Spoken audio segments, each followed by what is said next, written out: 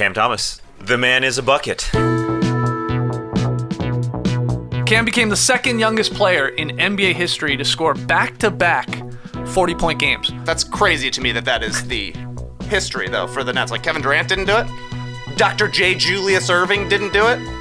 John Williamson didn't do it. Todd MacCulloch didn't do it. Dikembe Mutombo, Keith Van Horn, all these guys. Nice little show by the Nets broadcast to show Cam Thomas's monstrous legs and his Tree trucks, his ups. Beautiful little highlight package of Cam Thomas just getting into his shots. He's a torch type player, man. Guy's on fire right now.